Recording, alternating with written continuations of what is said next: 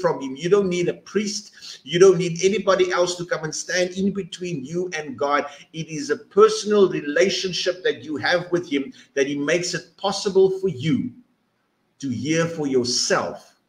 Now, the book of Job, in chapter 2, 22, verse 28, it says, Decree a thing, and it shall be established unto you, so the light of God's favor will shine upon your ways.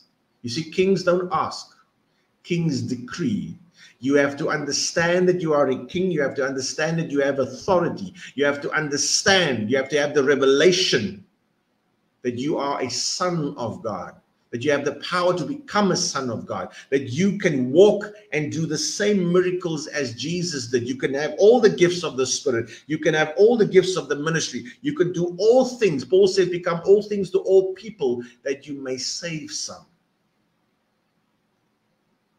Amen. You are a king.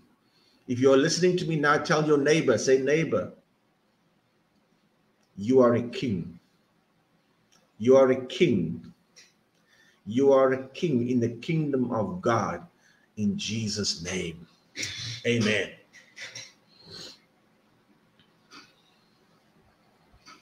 Praise God, praise God, amen, amen. Now, time to pray for uh, sick people and uh, uh, man of God. Really, uh, we just encourage uh, through your message and your message. Really, very powerful, really very powerful. I just uh, feel in my spirit when you just sharing the sermon, and wow just holy spirit uh, touch me and i just um, share with you uh, one testimony right away.